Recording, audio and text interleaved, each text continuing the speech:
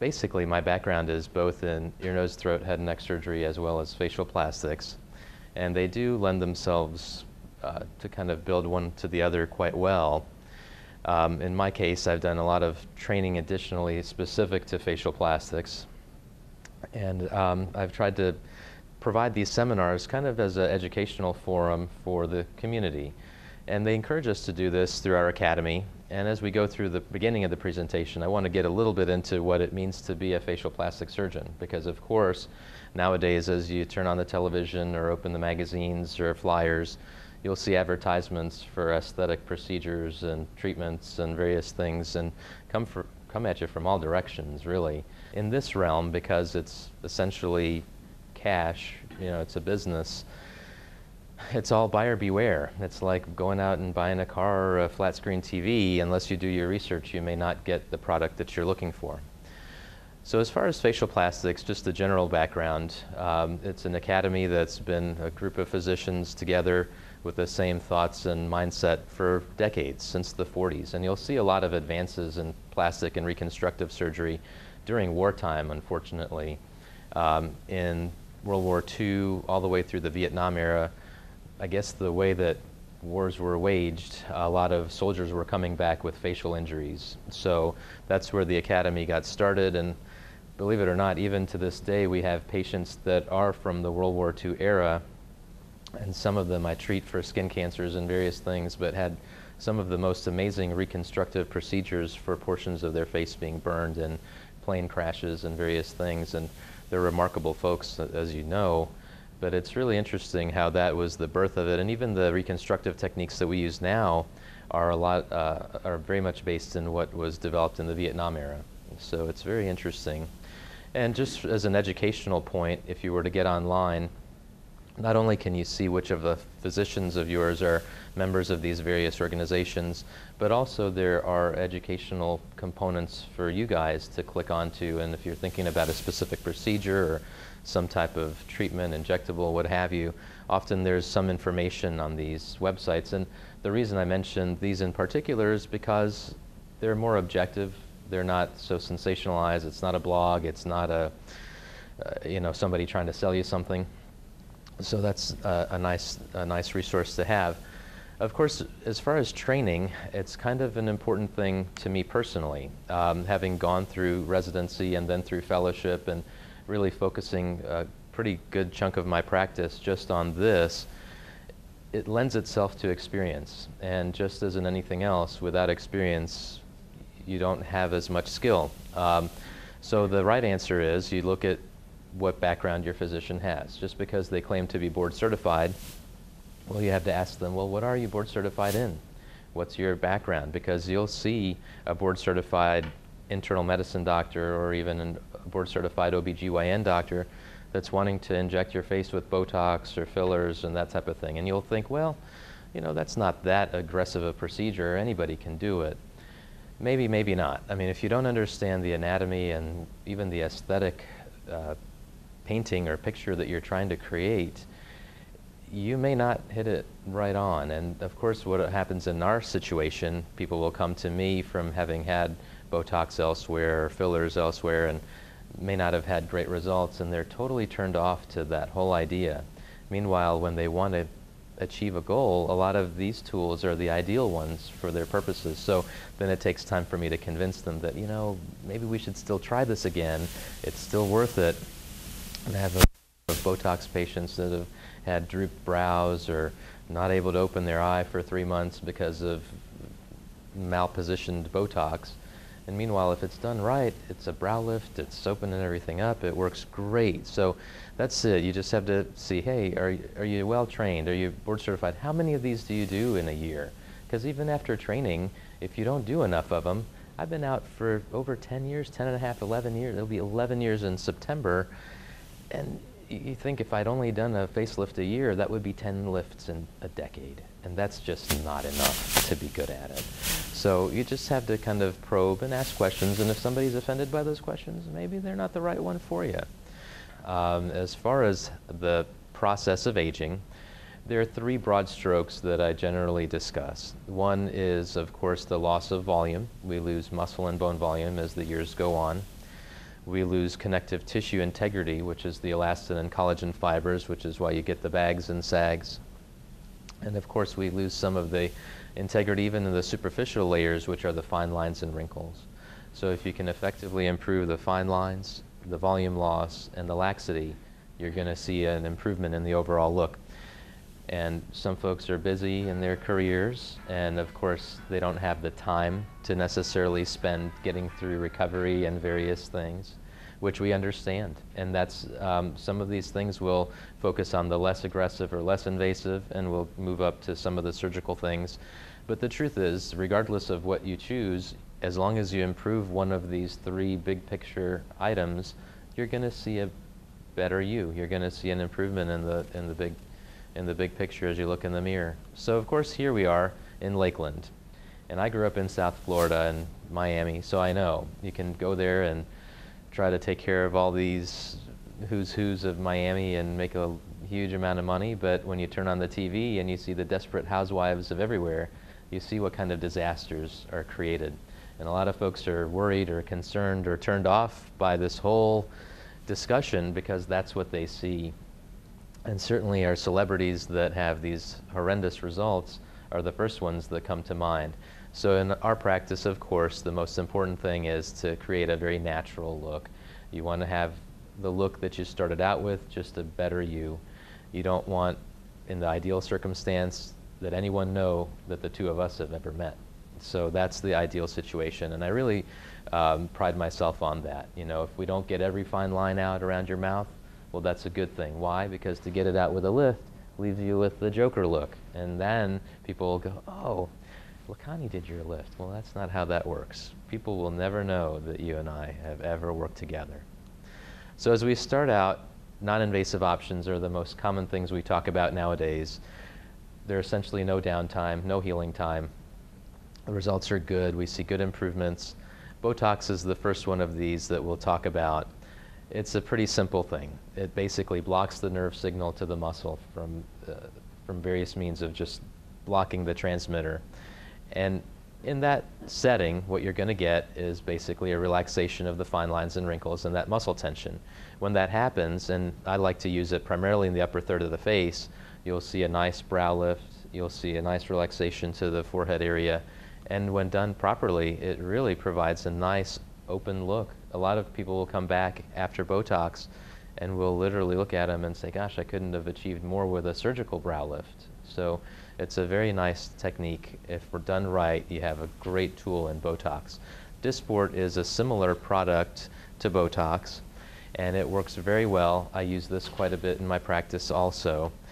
And when it comes to this, um, with the Dysport, it, um, it's just to me, now there are various uh, products in this line. They're all botuli various botulinum toxins. They work great and they all are competing against one another. So it's like having the best case scenario in the free market, the more competition, the better the prices are for us. When it was just Botox alone, which when I came out, that was the only game in town, every six months the prices were slowly creeping up. And you're like, goodness gracious, when is this going to end? And finally, the FDA approved a few other products, and now it's pretty much leveled off. So that's really good. And they all work very well. There's Xeomin and a couple of other products as well, but Botox and Dysport, just as it happens to be, are the ones that I use most frequently in my practice. Restylane is more of a filler. So the other one takes care of the fine lines superficially. The Restylane adds volume where we lose it. It's made of hyaluronic acid, which is a, a component of our own tissues. It's bioengineered in a lab, so there aren't any allergenic components to it. And it works great. If you look at the lower third of the face where they've treated here, you see that the lip lines are improved quite a bit, and just the general volume looks better because, of course, with regard to the lips, we do lose a lot of volume of the lips as we age. So that's one good way to use it. I use it quite a bit in the furrows through the cheek area, the nasolabial folds. Down here, it's an excellent way to smooth out the uh, jawline, getting rid of the appearance of the jowls quite a bit. So that's another great area to use it. And with regard to fillers, and not just Restylane, but fillers in general, I've been doing a lot of mid-face lifting. We do lose a lot of cheek volume as the years go on. The hollowness of the cheek is one of the real telltale signs of aging. So if we can build up that volume and keep it up, it does make a really nice improvement and in a very subtle fashion. Obviously, we see these celebrities again that are overdone with their cheeks and their jawlines, and you're like, what in the world happened? And those are done with implants or with overdoing the fillers, but if done in a subtle fashion, it really does improve the look. Juvederm is similar to Restylane. It's also hyaluronic acid. It's a slightly different concentration, but it works just the same in my opinion. Um, it really is a good product as well. Belotero is also hyaluronic acid, similar situation where the concentration is different in a way that it's excellent for the fine lines. So for some folks that come in specifically for these little fine lines around the lips, I really do reach for this and have had very nice results. Radiesse is another, another product of this whole laundry list of fillers. The other ones are a protein, so they're kind of a, a gel-like material if you were to squirt it into the palm of your hand. And in the thinner skinned areas, the other ones work beautifully. Where we want more volume, this particular thicker product works well. It's a hydroxyapatite paste, so it's like a calcium based. And if you look at it, it's a whitish paste and it is kind of gritty, but it has excellent volume. So for those that need a lot of volume through these nasolabial folds or the jawline, and certainly the cheek mid-face area, this is an excellent product. And it lasts a little bit longer than the hyaluronic acid products. The other ones last about six to nine months, sometimes up to a year. This you typically get about 12 months out of it, so it is a little bit better that way. All of these products can be used for reshaping the nose. Uh, another uh, technique where folks that don't want to have surgery done, you can use the fillers quite nicely. Artefill is one of the fillers that claims to have long-lasting uh, results, and the, and the truth is it does. It has a matrix of this polymethyl methacrylate, PMMA, which creates your own collagen. It builds up the collagen volume in the tissues, so it does stay. The 80% component, which is the largest component of the product, the larger volume, is still bovine collagen. So the good old-fashioned collagen, which we used to have as our only filler option about 15 years ago, is still part of this. The downside of it is bovine collagen only lasts for about three months. So that's why all these other fillers have become so much more popular. But the good thing about this PMMA, the polymethyl methacrylate, is that you get that matrix to build that collagen, and that lasts forever. So that's the beauty of this. Now, obviously, we continue to age. So even as we talk about surgical techniques and lifts and various things, you're still going to see that there's a lifespan to this. So even with the Artefill, folks will come in for touch-ups and redos and all of those things. It's not as frequent as the other ones, um, but it does happen. So it's not like you're going to do this and some folks think that they get a facelift and they're going to look the same for the rest of eternity. It's not true. So that's the downside of any of these things. But it is a good product. I've used it for years and years and have had excellent results. Sculptra is similar in that it relies on the body's own collagen deposition or formation. So the way that this works is this polylactic acid is, uh, is created into a powder form, and if you looked at a vial of it before we get started, it just looks like there's something caked onto the glass. You're like, what? There's nothing in here. And then you inject the sterile water or, or, or sterile saline, mix it, and then we inject it. So the initial part of the process is injecting to the correction or the volume that you want. Now the majority of this is obviously the water that we've mixed. So the water will dissipate over the course of a week. And in a week you're looking at it going, I went through all this for what? After the first week is gone, the following three to four weeks, the collagen starts to build around these little particle particulates. And as that happens, you start to see improvement. Generally, this takes two, maybe three treatments to get the full correction. The beauty of this stuff is that it lasts for two years. Mm. So if you've been doing fillers for a while, and I've had a handful of people that will get everything filled and corrected because again, filler is nice in that you don't have any downtime. I mean, it's you'll have a little bit of bruising, maybe some swelling, but that's usually just a few days worth. So this is similar that way. You don't have any additional bruising or swelling than you would for any of the other fillers, and the results slowly build up and you're good for a couple of years. So those that have used Restylane or other products through the mid-face and they're just using it frequently, they're coming in every six or eight months, I start to talk to them about this, and the results have been very nice. So it's another good option.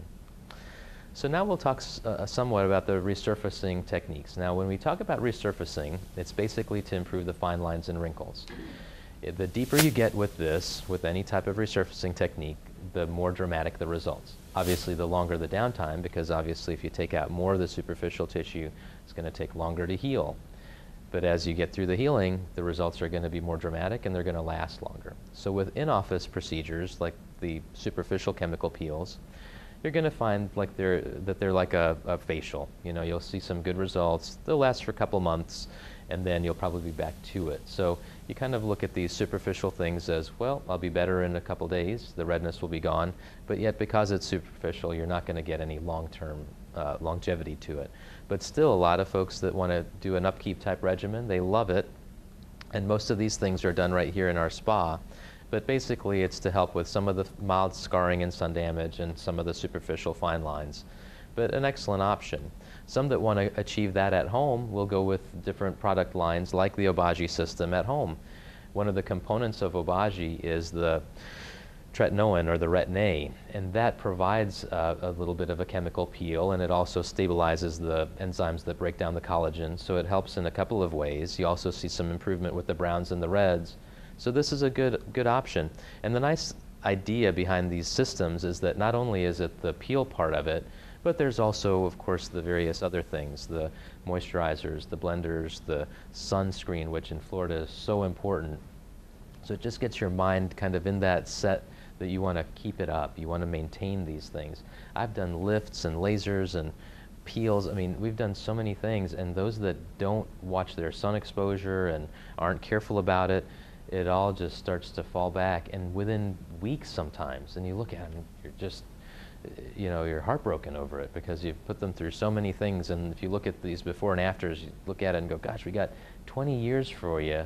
Don't throw it all away, you know, in 12 months. So it's, it's, it's something that I really talk quite a bit about because it's, it's important. And it doesn't matter what brand. I mean, Obagi is just something that I trained with when I was back in fellowship. But it doesn't matter. There's so many product lines out there that are all very good um, as long as you kind of have all the components and that mindset that even going out to check the mail in this Florida sunshine, you're getting a ton of sun exposure. So you have to keep that in mind.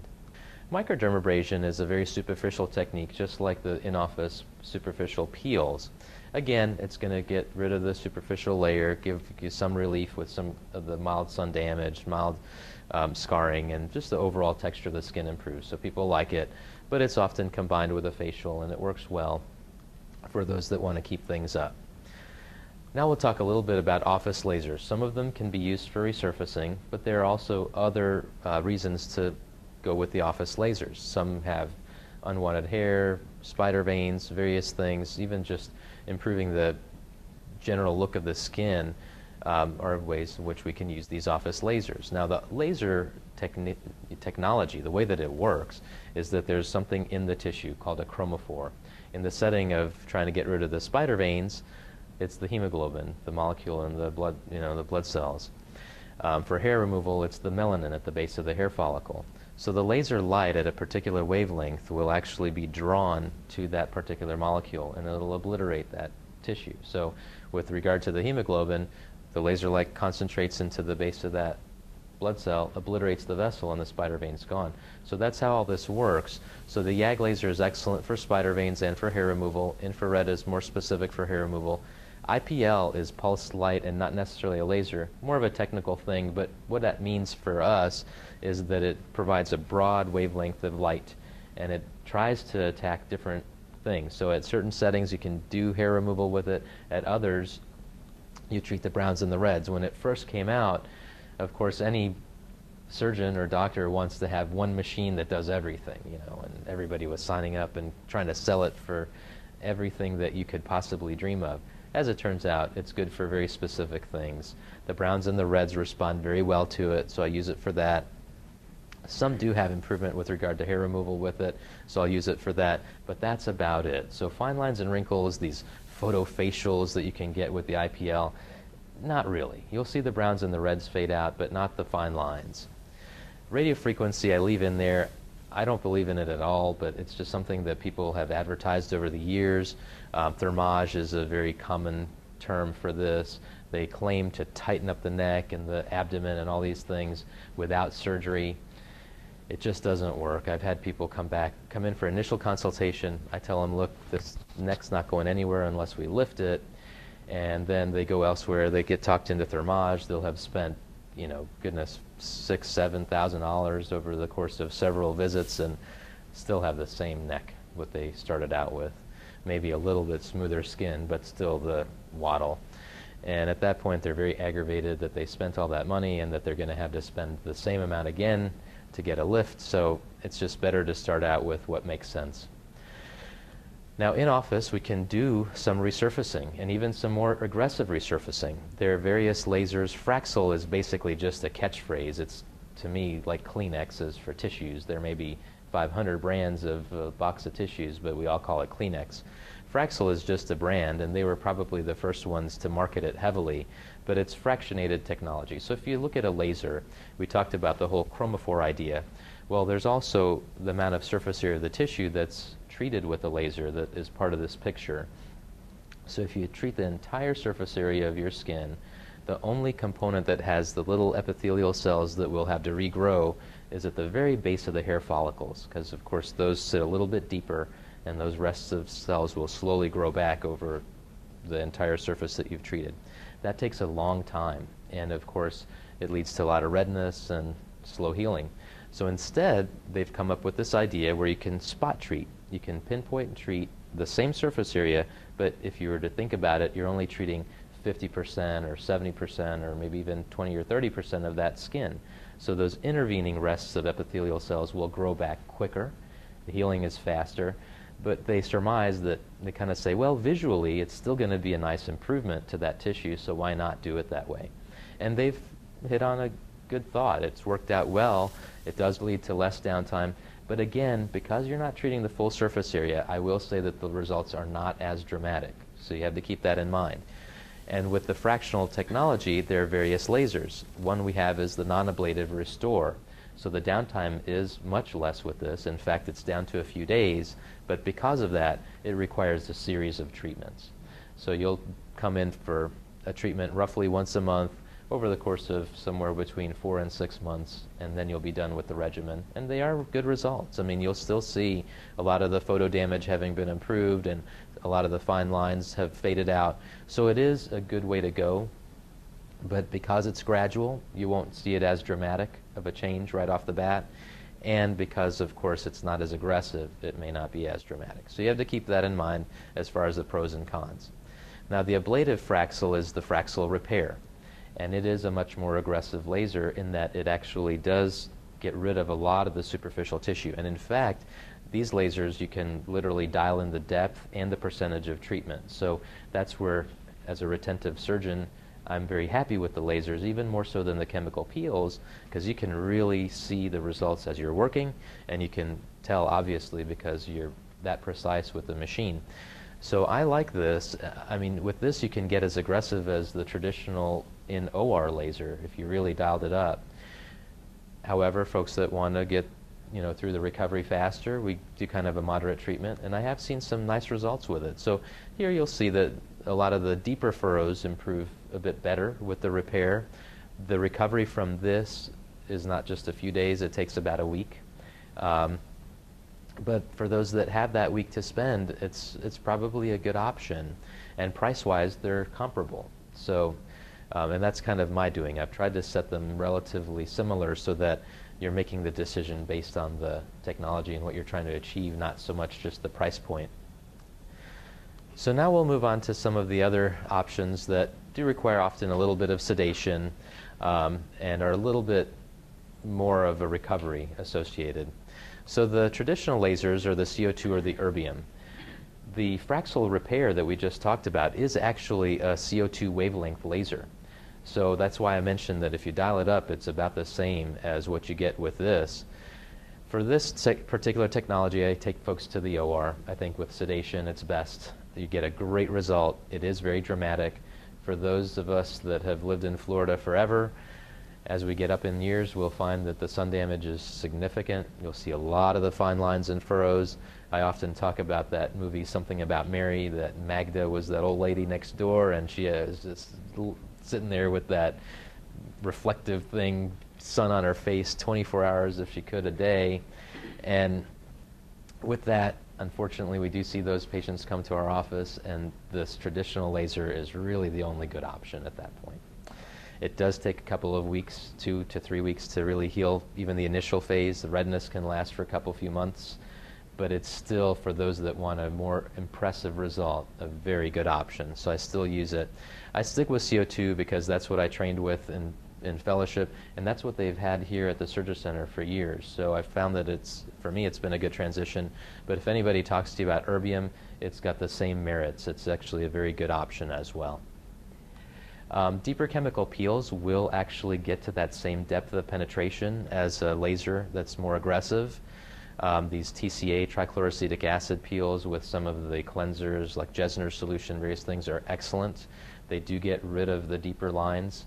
They're best done with sedation again because you're getting to that depth, which is a little bit difficult to achieve without some type of anesthesia but the truth is, because the lasers are so much more precise, like I mentioned, you can really dial up the, the depth of penetration. Even with the CO2, the traditional one, you visually see the changes in the skin. Whereas with the peels, you kind of just paint the solution on and you wait for the reaction, but there's limitations. With lasers, you can come up to the lash line, literally. With peels, you don't want to get close to the eye because if it unfortunately gets into the eye, you're burnt the surface of the eye. It's horrible. So I really don't do as much peeling because I find that lasers are so much more precise. That's just been my approach, but if somebody were to talk to you about peel options and, and or if you're really dead set on it, it's certainly a good way to go. It works well. Fat transfer is another way to achieve a fill, so volume. Now with this, you're basically harvesting fat from the abdomen or the flank and refining it and then re-injecting it. And it works reasonably well. Some folks think that it's a graft of their own tissue, so it's going to be 100% perfect and it's going to last forever. So that's where it's not exactly accurate. With any graft of fat, you're going to see that about a third of it lasts and the rest of it fades away. Obviously, we continue to age, so you're going to see that component. And the fact is, you have to sedate so you can get some of that um, harvesting done. So it's, it's not perfect in some ways. The reason I've left this slide in over the years is because just as every other realm of medicine, um, stem cell research is one of the things at the forefront. And the theory is that if, if, if you do infuse fat uh, stem cells rather into the fat that you've harvested, then the longevity of that fat is longer, and of course the take of the graft is better. So they're saying that it may get to the point where stem cell infiltration will be 95% of take in, instead of 33%. So at that point, maybe these folks that come up with the stem cell research and the stem, just market it and sell it, these machines now cost probably a million dollars. But over years, obviously, if it becomes more widespread, it'll be very tolerable price-wise. That may put all these filler companies out of business because that may be the next, you know, step in our in our future. So it's something to think about. You know, keep your uh, eyes and ears open. It may get to that point, but not yet. So we'll talk a little bit about all the various facelift options. Now, as we talk about these lift options, just keep in mind that the true integrity of the lift is always in the deeper tissue. The reason she had so many facelifts is because the first facelifts were skin only. And if you only tighten up the skin, unfortunately, skin likes to sag back. And when I take out these huge skin cancers and we'll rotate a facelift flap literally to close a huge hole on the temple, we rotate all this tissue up. And you look at it when you're done and you think, gosh, you know, I've just done a one-sided facelift. I'm going to have to go to the other side and lift it. But because I'm very meticulous in just lifting the skin alone, truth be told, in about four to six weeks, you start to see that it's almost perfectly symmetric. At three months, you won't even tell that one side was lifted. So if you don't do the lift properly in terms of dealing with the deeper tissue, by about a year, you're going to have lost all of it. And that's why these big companies like Lifestyle Lift and various other ones are not doing you any, any favors. I mean, you'll spend a lot of money and you'll get for the most part, a skin-only lift. They do a little bit with the muscle, and we'll talk a little bit more in detail about that in a minute. But it's just not good enough. So you have to keep that in mind. Um, all right, so the mini facelift is the lifestyle lift for all intents and purposes. It's been a technique that's been used for decades. In fact, it was first described in the 60s or 70s. Um, the doc by the name of Sam Hamra, I think, is the first one to kind of talk about this. But the truth is, it's a limited incision, limited dissection. You lift the muscle in the proper technique, you lift the muscle, and it works. It does work for those folks that just have minimal laxity and want to have a little bit of a tuck up. This is a good technique.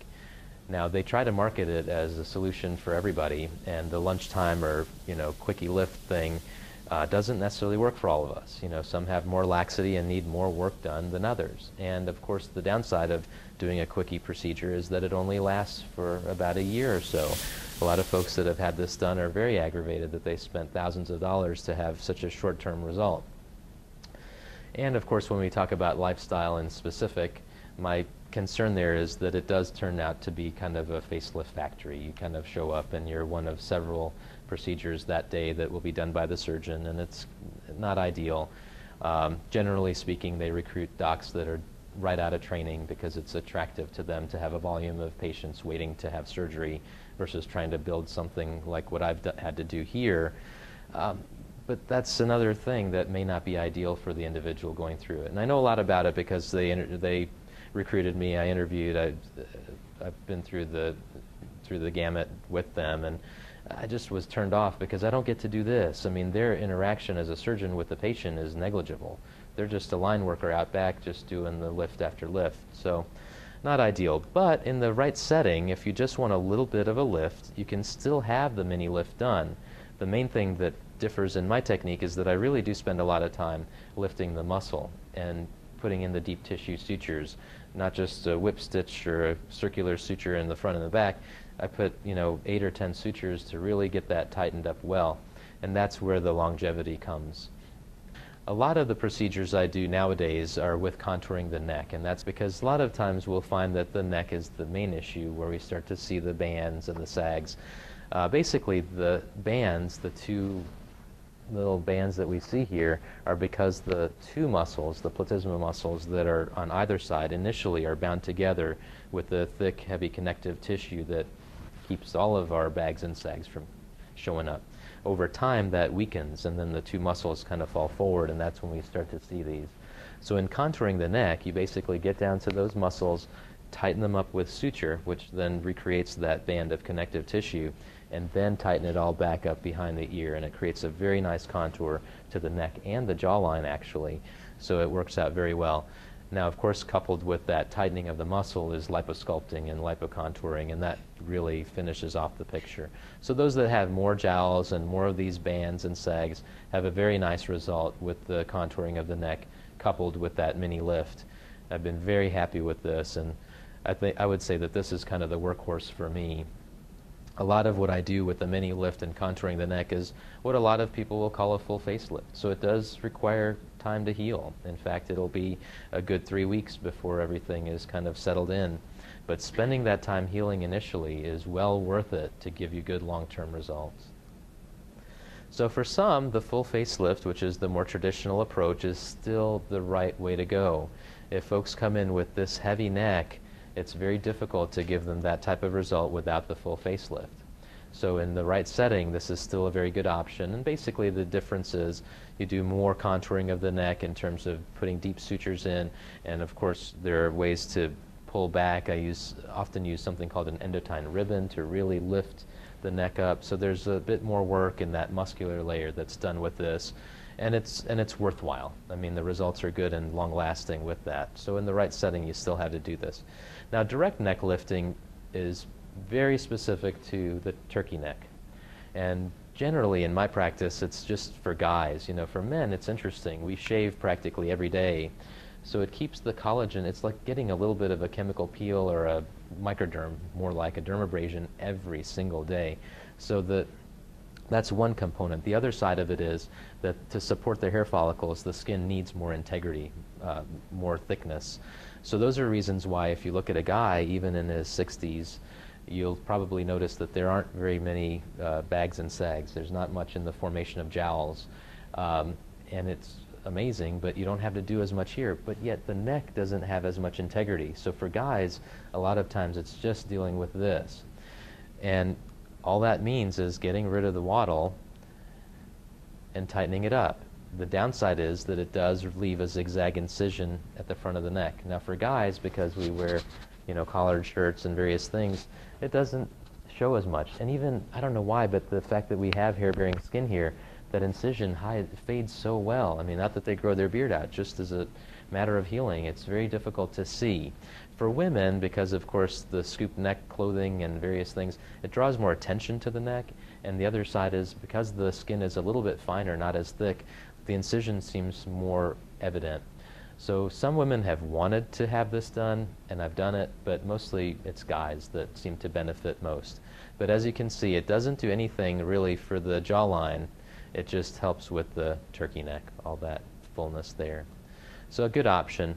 So this is that Endotine ribbon. So I'll put this in the neck when we're doing the full face lifts frequently. I'll also use this for the jowl specifically. You can pick up the jowl and bring it up to the temple and really bring that fat back into its normal position. A lot of times when we look at these bags and sags here, you start to wonder, well, why is it here and not here or what's going on? That's because of the way that the connective tissue weakens and we have certain rests of fat that sit higher in the cheek when we're young. And as time goes on, it descends down. So the jowl is actually this buccal fat, you know, fat that sits higher in the cheek. So if you can pick that up with this type of ribbon and reposition it, it works well. This particular product is actually resorbable material. So it leaves that integrity for several months, long enough for that tissue to scar into its position and then it just dissolves, it fades out. So it's very nice. I use, uh, you know, for these deeper tissue areas, it works out very well. Mid-face lifting is something that I do a little bit less of nowadays, in fact, quite a bit less of, because we have the fillers. The fillers are a great way to contour and achieve good symmetry to the midface. In fact, with fillers, it's kind of like sculpting. You, we're all asymmetric to some degree or another. And you can add a little bit more volume to one side or the other with the fillers to accommodate for that. With the lifts, basically you're lifting this uh, cheek fat pad that descends down to the create the nasolabial fold, the fullness, and you lift it back up onto the cheekbone. So it provides a nice contour, but again, we're going to continue to age, so that'll slowly descend down. With fillers, you can achieve almost as good a result. In fact, in a lot of people, sometimes a better result because of that asymmetry issue that I mentioned but it's a good way if some folks come in and they still want a more permanent thing than fillers, this would be a good option. Um, often I'll couple this with a cheek implant so it provides good long-term volume because we're going to continue to lose the muscle and bone volume with time, but that implant will stay there forever. So that's another way to kind of accommodate for the aging with time. With eye lifting, it's interesting. You'll see the fullness or the hooding over the upper eyelids, and that kind of creates that sleepy look. And folks come in and tell me, gosh, I'm not tired at all, but yet people always ask me, did you sleep? What's going on? Why are you so exhausted? So lifting the eyelids, getting that excess skin out of the way, brightens up the picture, and it is a nice way to go. It's pretty simple as, as far as eye lifting, and some of the mini lifts, by the way, we do right here in the office. So it is an easy, easy fix, relatively quick healing, and good results. Um, even for older folks, when the skin gets so heavy that it obscures the peripheral field of vision, insurance will often cover this. So it's another way to, uh, to improve the look. Um, this is more aesthetic, just that fullness, but you can see where, uh, for all of us, eye contact is the first thing we make as we communicate with each other. And, and somehow in our subconscious, we equate the look of the eyes to the health of the individual, whether they're rested, as I mentioned, or even just the overall well being. And when you see all this, you're like, gosh, what's wrong with him? And yet, when you get it all fixed and cleared up, it, it's not like he looks unusual or abnormal. He just looks more natural, and that's the goal. Some of our younger patients will come in, and the ladies will say, gosh, you know, my eye makeup gets all over the place. This is so aggravating. And a lot of them are younger, just like this young, young lady, and they, they basically come in and say, you know, I was born with this fullness, I just want to get rid of it. It's, it's really aggravating. Some will have some subtle asymmetries one side to the other, and they say, gosh, in pictures it just doesn't look right. So even younger, you know, I've done eye lifts for as young as 26, 27 year olds. And one of the girls actually brought her parents in. They both said, you know, we had to wait till we were 50. Nobody would operate on us till we were turned 50. And this is just the genetic thing. Everybody in the family has this. So we went ahead and did it, and she's been the happiest girl, you know, for years. I've known her probably almost as long as I've been in practice, and she's done great. So again, it just is such a nice uh, overall look. Now, with brow lifting, of course, when we look at the eyes, as I mentioned, eye contact is the first thing. If you can do anything to frame the eyes without drawing attention away from the eyes, that's ideal. So as the nose contours to the brow around the eyes, if it looks natural and opens out the eyes, that's the best scenario. So you want to use brow lifting as an adjunct to an eye lift in frequent cases. These are not my pictures, by the way. All these pictures that I've shown you today are not our patients. I have thousands of pictures back there as we've amassed them over the years. But Lakeland's a small enough community that I didn't want y'all walking out the door going, I knew she had something done. So, in a sense, we can sit here and critique this, in my opinion, is not a great brow lift because there's not a nice arch to the brow. It's that quote unquote deer in headlights or surprised look. And that's what you want to avoid. And if you can get it right, and for most folks nowadays, if they do want a brow lift done, I'll do what's called a lateral brow lift. So you just want a little bit of it opening out at the outer part of the brow. If you look at any uh, young woman's picture, you'll see that they have just a little bit of an arch under the brow. It's not that the entire brow sits up real high. In fact, you'll find that the central part of the brow sits kind of low, close to the eyelid. And that's just because we have a fat pad that lives here and creates that arch to the brow. When we lift the brow, we're not recreating the fat pad, we're just kind of relying on the bony part of the eye, the rim of the eye socket to create that illusion that that fat pad is still there. Bottom line is, if you have that nice arch and contour, it looks natural, it looks right. If you have it halfway up the forehead, then it looks weird. Um, kind of a side note, but the highest concentration of plastic surgeons are in Washington, D.C., not in Hollywood or Manhattan. Surprisingly, all these politicians want to look younger. And Nancy Pelosi, when she had her brow lift done, she looked ridiculous. I mean, she was giving uh, the rebuttal to the State of the Union. I remember this pretty clearly to George W. And boy, she must have been just horrified by George W.'s words, or she had a really bad brow lift. And I think she had a bad brow lift because the look didn't go away for quite a while. Now that she's aged, the brows have kind of come down. But you can actually see how hollow her eyelids are. Mm-hmm. And that's because they've taken out too much fat from this area and lifted the brow too much. So she's another example of not ideal plastic surgery. So in that setting, like I mentioned, you want to frame the eye. So the nose is part of that, and you want a nice looking tip and bridge and everything else, but you want to keep the nose breathing. Years ago, destructive rhinoplasty, as I call it, was the norm. They would shave down the bridge and pare down the tip and create these little ski slope noses for everybody's face. Your face could be this big and your nose would be that big. So a lot of those we have to reconstruct nowadays. We have to actually add tissue volume back, add cartilage back. So you want, of course, a nose that looks like it belongs on your face from birth. You don't want something that looks done. And everybody's perception is a bit different. I did one rhinoplasty. It's probably been about four or five years now but it was a teacher came in for the summer. She had kind of that big bump and wide tip. And if you looked at it before and after, the result was excellent. But she was very aggravated that when she went back in the fall, nobody knew that she had rhinoplasty. And I said, that's perfect. In fact, that's exactly what you want. You want a nose that looks beautiful but looks like you be- belong with it. And she was like, oh, okay, I guess so. But I mean, when you look at the before and afters, you're like, my goodness, it was pointing down and all this big old parrot nose, and here it is turned up. And so you want this. This is what you want. And I like this picture. I think it's nice. You have a nice upturn, nice proportion. You've lost that big bump. But if you look at the proportion of her face, it fits very well. And same with this. You know, it's not this little ski slope pared down thing, but it's a little refinement through the tip and just a little bit of bringing down that bridge. And it breathes well. That's the most important thing. Here you see this crooked, deviated nose. if you straighten it up and keep it proportioned, it'll breathe well. And I'll be honest with you, it doesn't matter what a nose looks like. It could be the most beautifully created, sculpted, aesthetic nose. If you can't breathe through it, it's useless. People will come in and they'll be so aggravated, so miserable. And nowadays, because I have the background in ENT as well as in plastic surgery, I do a ton of reconstructive rhinoplasty coupled with sinus procedures and, and whatnot.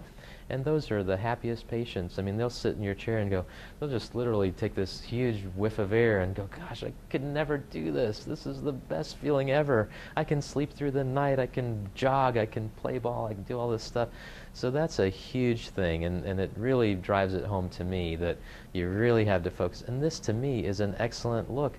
You're really drawing attention to her beautiful big eyes, not to a little tiny nose that is sitting on her face. So of course you've created a more straight nose and fixed the tip, and that deviated nose usually means that the septum inside is deviated and blocking up her airway. So in this case, I'm sure she functions and breathes better. My practice is kind of, like I mentioned, across the board in terms of reconstruction. I do a lot of work with the cleft lip and palate kids. A lot of them, this is the most mild form of quote-unquote ear deformity, where they have that more prominent ear.